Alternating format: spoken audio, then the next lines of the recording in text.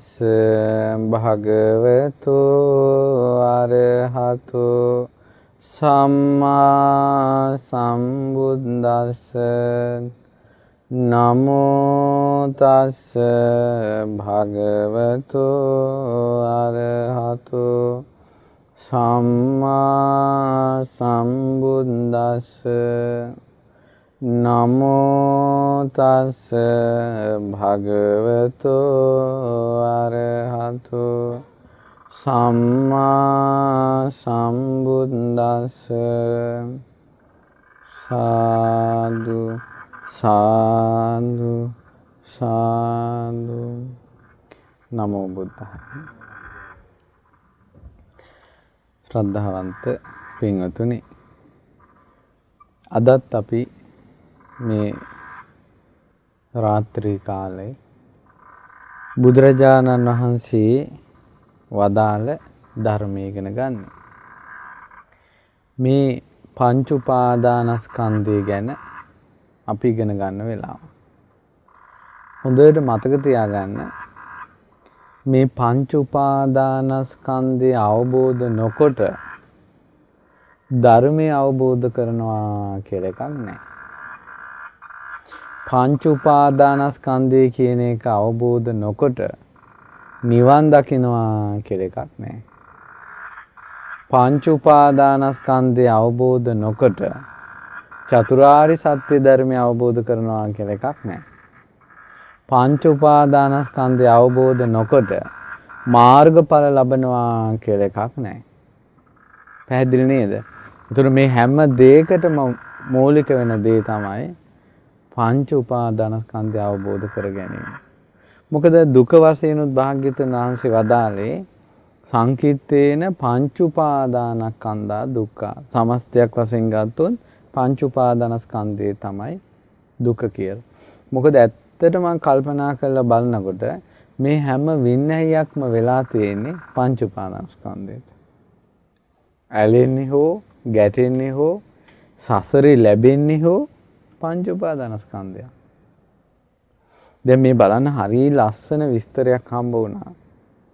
මේ මේ ලෝකේ කිසි කෙනෙකුට මේ විසඳ ගන්න බැරි දෙයක්.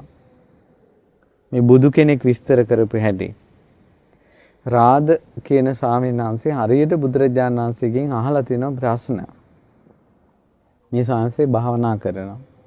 කුසල් වඩනවා. ඉතින් විවේකයෙන් බණ භාවනා කරනකොට හිතට එනවා එක එක ප්‍රශ්න.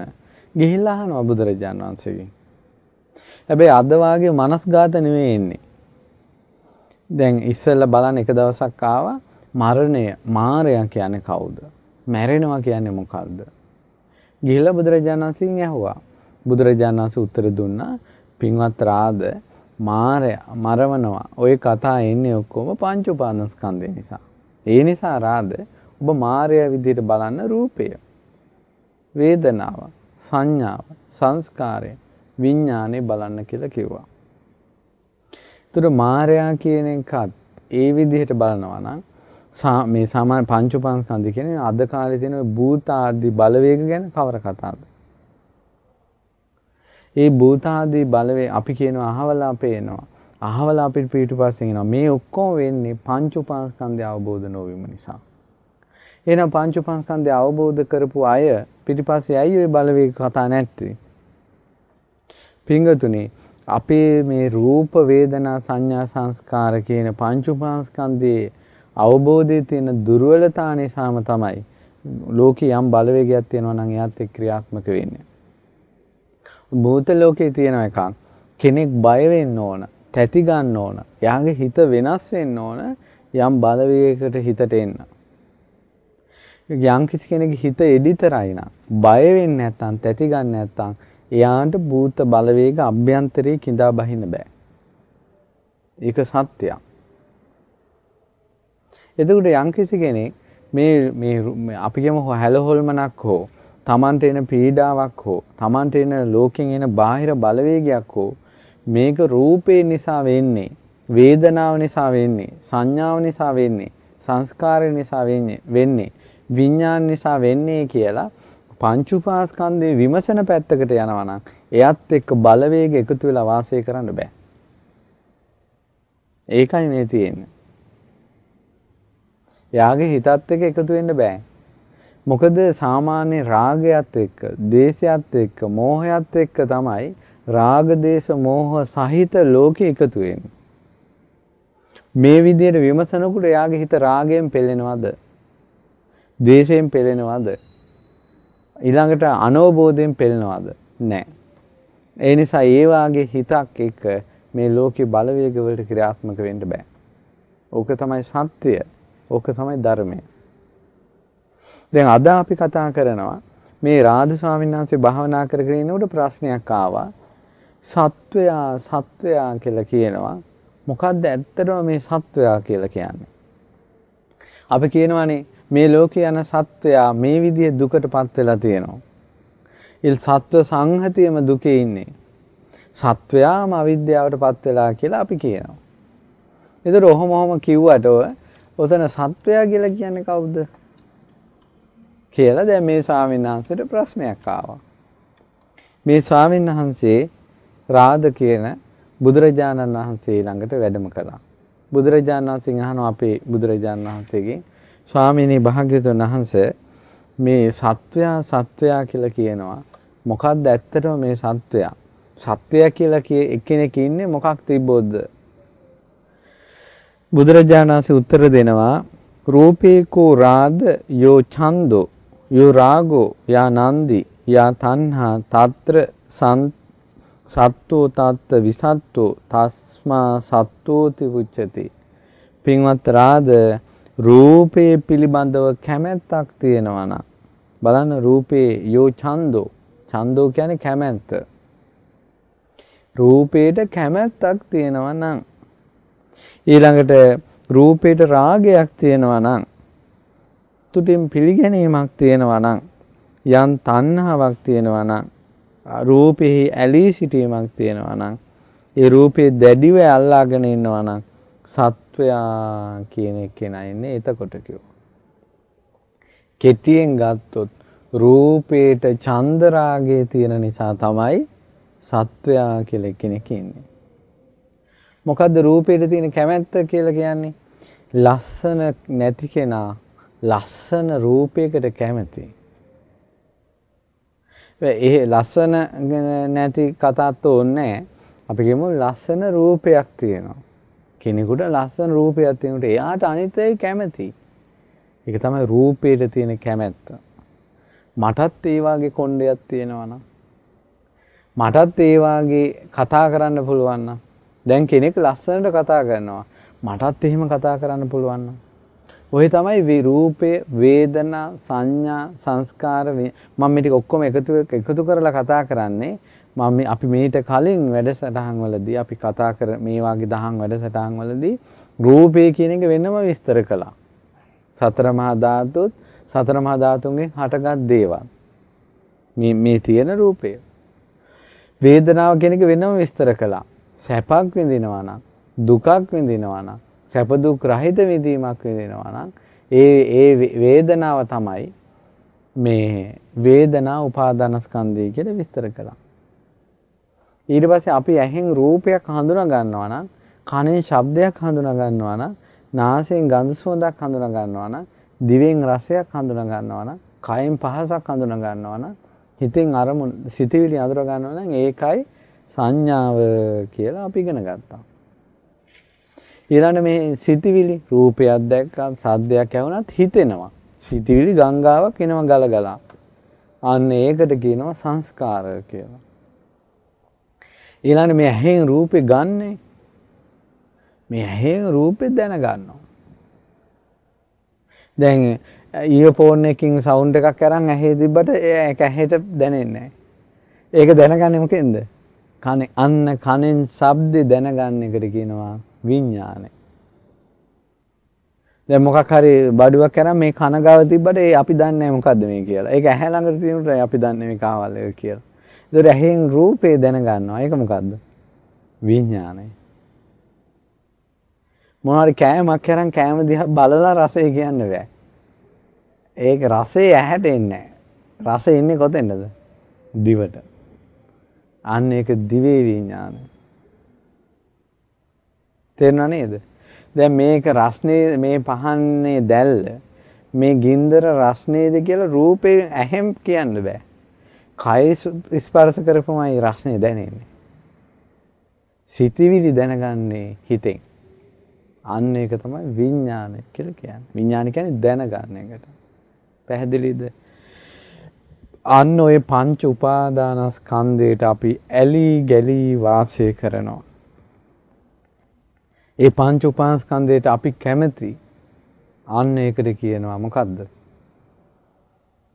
සත්වයා කියන. පංච උපාදානස්කන්ධයට ඇලුන නිසා කැමැත්තෙන් ඉන්න නිසා තෘෂ්ණාවෙන් ඉන්න නිසා සත්වයා කියලා කියනවා. සමහර අය කියනවා මන් නම් මේ රූපෙට කැමති නෑ. එහෙම කිව්වට වචනේ මෙයා කොහෙන් හරි එරිලා ඉන්නේ. ළඟදීන් අපිත් එක්ක කතා කරන්න ආවා මේ ළමයෙක්. ඒ ළමයා පිළිකාවක් තියෙනවා. ඊට පස්සේ දරුවට පිළිකාවක් තියෙනවා. තරුණ පුතෙක්. ඒතකොට ඒ පුතා මුළු ජීවිතේම අත්හැරලා දැන්. මට මගේ ඇඟ ඕනේ මේ ඕනේ. දැන් මෙයාගේ දැන් කතාවත් එක්ක බලනකොට මෙයා තෘෂ්ණාව නැහැ වගේනේ. හැබැයි මෙයාට හිතට වද දෙනවා. මගේ ගෑන් ළමයට මොකක් වෙයිද? එයා ඇයි මට ආදරෙන් කතා කරන්නේ නැත්තේ? එයාව මම අතාරීද? ඒතර එයාට ඕලාරිකව පේනවා. එයාට එයා ගැන හැඟීමක් නැහැ. එයාට ඕලාරිකව පේනවා. එයාට එයා ගැන හැඟීමක් නැහැ. නමුත් එයා කැමැත්තෙන් ඉන්න රූපයක් නැත්නම් ඒ ගෑනු ළමයාට එයා කැමති. ඔය අපි මෙයා අරයා මෙයා කියලා වචන දැම්මට කොතන වුණත් තියෙන රූපේ රූපේමයි. ඇයි ගෑනු ළමයා කියලා එයාට ගෝචර වුණේ ඇහෙන්. ඒ ඇහැටයි ගෑනු ළමයාගේ ඡායාව වැටුනේ. ඒතකොට එයා ගෑනු ළමයාට ආසයි කියලා මෙන්න මෙතෙන්ටයි ආස කළේ. එයාට එයාගේ ගෑනු ළමයා කියලා හඬ ඇහුණා. එයාට බාහිර දෙයක් විදිහට පෙනුනට ඒ හඬ ක්‍රියාත්මක වුණේ මෙතන. එයා මෙතෙන්ටයි ආස කළේ. පැහැදිලි නේද මං කියන එක? ඒ ගෑනළමයා ගැන හිතෙනකොට හිතේ ආසාව වැඩ කරනවා. ඒ හිතන සිතිවිල්ල එයාගේ සිතටයි ආවේ. එයා ආස කළේ එයාගේ හිතට. අපි මේ ලෝකේ යම් දෙයකට ආසයි නම් කැමති නම් තෘෂ්ණාවයි නම් ඒ ඔක්කොම මේ පංච උපාස්කන්ධේ මට ගන්නවා මිසක් බාහිර එකක් නෙවෙයි. ඒකයි මේ පංච උපාස්කන්ධයම අවබෝධ කරනකොට සකල ලෝකයන්ගෙන්ම නිදහස් වෙන්නේ මේ ලෝකයේම අපි තුල හට ගන්න නිසා. ඒක පැහැදිලි නේද? ඒකයි සත්වයා කියලා එකක් එන්නේ. පංච උපාදානස්කන්ධයට බැඳුන නිසා සත්වයා. දැන් සමහර අයට බණ කියාගෙන යනකොට සමහර අය ගැඹුරින් ධර්මයේ විස්තර කරන්න යනකොට මම මගේ මගේ ආත්මය කියලා දෙයක් නැහැ කියලා විස්තර කරගෙන ගිහිලා සීමාවත් ඉක්මවලා කියනවා මොකද්ද සත්වයක් නැහැ පුජ්‍යලයක් නැහැ කියලා. ඒතකොට සත්වයක් නැහැ පුජ්‍යලයක් නැහැ කියන කතාවයි මම මගේ මගේ ආත්මය නැහැ කියන කතාවයි කතා දෙකක්. ඇයි මේ දෙක පටලවා ගත්තේ? භාග්‍යවතුන් වහන්සේ මේ සත්‍ය කියන සූත්‍රයේදී පැහැදිලිවම දේශනා කළා පංච උපාදානස්කන්ධයට බැඳුන නිසා කැමැති නිසා රාගය නිසා ආසාව නිසා එතන සත්වයා කියලා පැනවීමක් වෙනවා කියලා. ඇයි සත්වයා කියන්නේ හරි පුදුමයි. සමහර සත්වයෝ ඉන්නවා මේ ලෝකේ මස්ගුලි ওই සමහර ප්‍රේතයෝ ඉන්නවා කියලා බුද්ධ දේශනාවේ තියෙනවා. මේ මස් වැදැල්ලක් ඇටකොටු ඇස් කන් ආසාදි මොකුත් පේන්න නැහැ. මස් ගුලියක් මෙහෙම රෝල් වෙවි යනවා.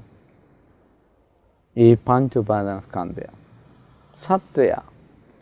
එයා රෝල් වෙවි දඟලා දඟලා ජීවත් වෙන්න නෙවෙයිද උත්සාහ කරන්නේ. එයාට එන පීඩාව දුරු කරගන්න නෙවෙයිද අර ප්‍රේතයා අර කැරකි කැරකි යන්නේ. ඔයා දැකලා ඔයාලා දැකලා නැද්ද අතපය මොකුත් නැති ඒ මේ අංග විකල අය බඩ ගගා කෑම ටිකක් හොයාගෙන යන හැටි. එහෙනම් අතපය මොනව නැහැ කියලා එයා ජීවත් වෙන්න දඟලන්නේ නැද්ද? කුෂ්ඨ හැදිච්ච බල්ලා බල්ලෙකුට ගහන්න හදනකොට වලිගේ කකුල් දෙක අස්සේ ගහගෙන දුවන්නේ නැද්ද? ඒ රූපේට ආස නිසා එකයි සත්වයා කියන්නේ.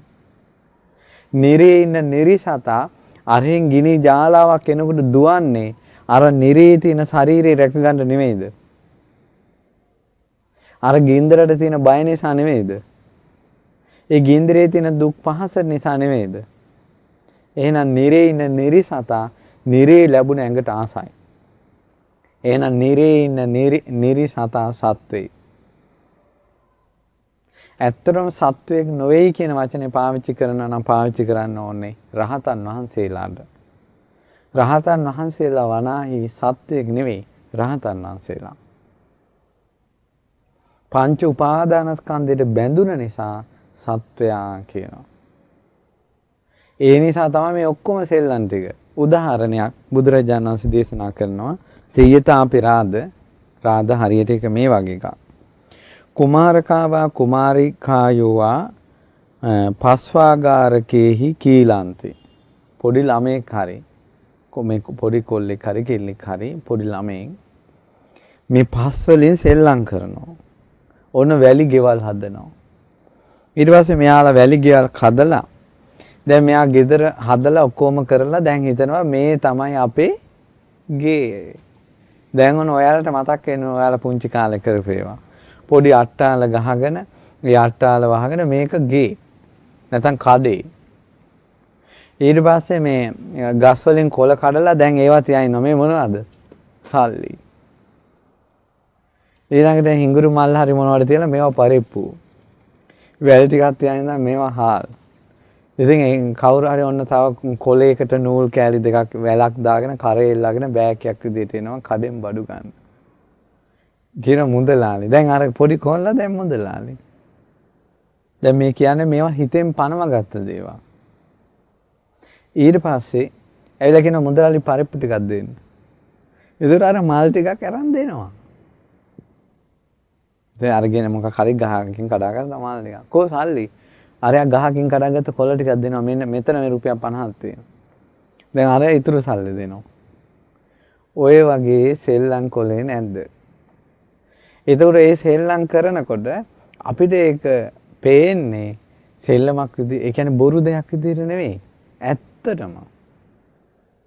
ඕකේ බැරි වෙලාවත් අර සෙල්ලමට ආපු ළමයා අර කොළ දෙන්නේ නැතුව, කිරන්නේ නැතුව ඉක්මනට අර මල් ටික අරන් පැන්නොත් එහෙම මගේ පරිප්පු ටික අරන් ගියා කියලා අනිත් අය පන්නන්නේ නැද්ද? දැක්ක නේද?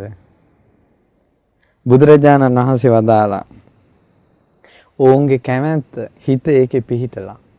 පිහිටලා නිසා මොකද වෙන්නේ? ඒකේ යාලා ජීවත් වෙනවා. ආස කරනවා, ලොල් වෙනවා. තමන්ගේ වස්තුව හැටියට දකිනවා. මගේ කියලා දකිනවා. ඔය පොඩියට අට්ටාල ගහලා ලී කෑලි වලින් හදපු ගෙයක් කැඩුවොත් එහෙම මුළු දවසේම පොඩි ළමයි අඬන්නේ නැද්ද? මගේ ගේ කැඩුවා කියලා. ඒකට ආස නිසා ඇත්ත දෙයක් කියලා හිතන නිසා බුදුරජාණන් වහන්සේ වදාලා යතෝචකෝ රාද කුමාරකා රාද ඔය ළමයා හරි ඔය කොල්ල හරි දැරුවි හරි වැලි ගෙවල් ගැන තිබ්බ රාගෙ දුරු කළා නයි කියන්නේ මේවා බොරු දේවල්. ඇත්ත දේවල් නෙවෙයි කියලා ඔය අවබෝධයට ඔය ළමයි ටික ආවනම් ඔය වට ආස කරයිද? අර ගහේ කොළවලට සල්ලි කියලා රැවටෙයිද? ඔය ගයක් කවුරු හරි කඩනකොට දැන් අපිට මතකයි අපි පුංචි කාලේ මේ පොල් කටු වලට පස් දාලා ඒක හොඳට තද කරලා අනිත් පැත්ත ගහලා මේ කෝම් පිට්ටු කියලා මේවා කරනවා. තල් මේවා කරලා අනිත් පැත්ත හරනවා මෙන්න මේ කිරිබත් හැදුවා කියලා. නැතම් පිට්ටු හැදුවා කියලා. විතර කවුරු හරි යන ගමන් ඕකට පයින් ගහගෙන ගියොත් එක රණ්ඩුවයි කිරිබත් කැඩුවා කියලා. ඉතින් නමුත් ඕක පස් ටිකක් මේක නිකන් මේක බොරුවක් කියලා ඇත්තම අවබෝධයට ආවට පස්සේ ඕවා කඩලා සුණු විසුණු කළත් හිතට දුකක් එයිද? එන්නේ ඇත්ත අවබෝධ වුණොත්. බුදුරජාණන් වහන්සේ දේශනා කරනවා ඒ ඇවිල්ල දැවිල්ල ආසාව කැමැත්ත නැති වුණොත් හිතෙන් ඔව සුන්නු විසුණු කරලා දානවා. ඒ වගේ මේ රූපේ ඇත්ත తත්වය, වේදනාවේ ඇත්ත తත්වය, සංඥාවේ ඇත්ත తත්වය, සංස්කාරයේ ඇත්ත తත්වය අපිට අවබෝධ වුණොත් එදාට මේ සත්ව කියන කතාවක් නැහැ. මම මගේ මගේ ආත්මය කියලා කතාවක් නැහැ. මේ ලෝකේ අල්ලගන්න යන්නේව නැහැ. නඩු හබ විකාර දේවල් නැහැ. අදෝනා, වැලපිලි, ගින්දර ඔය මොනවත් නැහැ. මේ ඔක්කොම තියෙන්නේ පංච උපාස්කන්ධය නිසා. අපි මේ දාන සෙල්ලම් ඔක්කොම දාන්නේ අර පුංචි ළමයි වැලි ගෙවල් වල සෙල්ලම් කරන්න වගේ. ඊට පස්සේ මේ වැලිගේ කඩයක් වගේ සෙල්ලම් කරලා සෙල්ලම් කරලා මම මගේ මගේ කඩේ කියලා එක්කිනෙක කින ඕක ඕනේ අපි දැන් අපි මේ රාජමාලිගාවක් හදමු. ඔන්න ආයෙත් අට්ටාලයක් හදා ගන්නවා. ඊට පස්සේ එතන ඉන්න ළමෙක් මේ කොස්කොල වලින් ඉරටු වලින් ගහලා ඔටුන්නක් හදාගෙන එයා රජ්ජුරුව. දැන් වෙනම සෙල්ලමක් එයා. ඒ වගේ සෙල්ලම් මාරු කර කර යන ගමනක් අපිට තියෙන්නේ. දැන් ඔන්න සෙල්ලමක් දැන් නාට්‍ය රංගපානවා. දැන් තාත්තා අම්මා අර අර ඔෆිස් එකේ බොස් මේ ඔෆිස් එකේ බොස් මම අතන මෙයා මෙතන මෙයා කියලා දැන් අපිට එක එකව පනවගෙන ඉන්නවා. මැරිලා ගිහිල්ලා කොහේ හරි ලෝකෙක ඉපදුන ගමන් ආය නාට්‍යයක් පටන් ගන්නවා. සත්වයාගේ සසර ගමන පංච උපාදානස්කන්ධයට ඇලුන නිසා තමයි මේ ඔක්කොම දුක්ඛ අන්දරාව තියෙන්නේ කියලා බුදුරජාණන් වහන්සේ මේ දේශනාවේ ලස්සනට විස්තර කරනවා.